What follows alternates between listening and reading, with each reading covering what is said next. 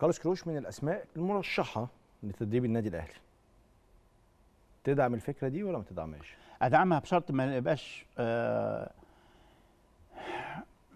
أعتقد إنه مش هيعمل كما فعل مع المنتخب يعني مم. هو مع المنتخب شاف إن المنتخب مقارنة بالسنغال يلعب بالطريقة دي صح. عشان يعيش مقارنة مش عارف إيه يلعب بالطريقة دي عشان يعيش والس- و- والكاميرون آه. لكن لو. كان الأستاذ كيروش هيجي عشان الأهلي يلعب بالطريقة دي لا ما ينفعش مم. الأهلي فرقة بتلعب كورة حلوة مم.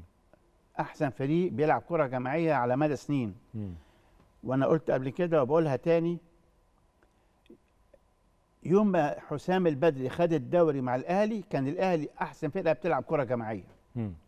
وعشان كده خد الدوري لما كنت تلاقي وليد سليمان في ال 18 بيدافع وتلاقي مش عارف مين في ال 18 بيدافع وبعدين في لحظة ما هم الاثنين قدام بيهاجموا وهكذا. صحيح.